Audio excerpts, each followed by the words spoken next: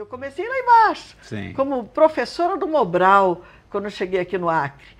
E fui ensinar pessoas que não sabiam ler e escrever. A minha mãe não sabia, isso me doía muito. Mas não foi assim. Cheguei aqui não tinha o que fazer. Eu ganhava em São Paulo como sargento PM R$ 2.800. O marido ganhava aqui 280. A vida virou estrupício. Eu tinha que trabalhar. Comecei como Mobral. Depois me deram no ginásio, fui dar aula para o ginásio.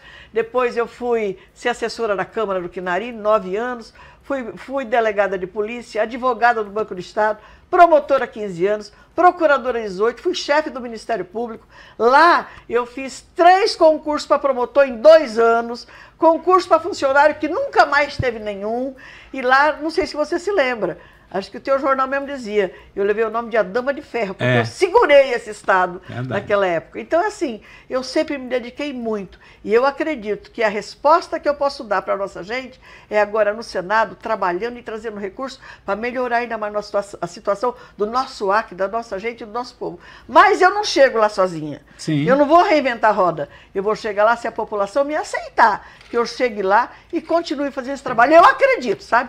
Nós corremos esse estado aqui em todos os municípios. Como você disse, subindo em carroceria de caminhão, é. subindo naquele, naquele negocinho que sai da rua fazendo carreata, balançando bandeira, mas esse é o jeito da Wanda. Sempre de abraçar o povo. Fala que o Petecão é popular, né? É. Mas quem me conhece sabe que a Wanda também é do povão. Agora, Às vezes as pessoas me perguntam, e ah. concluir, aonde está seu eleitorado? Eu digo, meu eleitorado está aí, está no povão. Está no povão, nas pessoas da zona rural, da periferia. Esse é o meu eleitorado. E os amigos que me conhecem e sabem do trabalho que eu fiz. Agora, Wanda, com tanta atividade política, à noite você tem tempo para dormir e quando dorme, chega a sonhar com voto?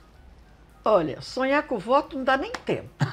Porque eu chego em casa sempre 10 e 11 horas, aí a gente vai responder o zap que as pessoas mandam pra gente, vai até uma, duas da manhã. Tá tão cansada que dorme, tem que levantar às 6 horas da manhã para ir pro mundo de novo. Você ainda responde o zap das respondo, pessoas? Respondo, respondo os zap das pessoas. Converso com todo mundo. Eu tenho conversado assim. Uh, tenho feito o possível. Sim. Vou nas carreatas, vou nos encontros com a população, a nossa militância é bem grande, né? Marco reuniões. Ó, você tem uma ideia, eu fiz uma reunião Sobral antes de ontem, pasme, tinha mais de mil pessoas. Ô, oh, Glória. A reunião era do, do Raimundinho da Saúde.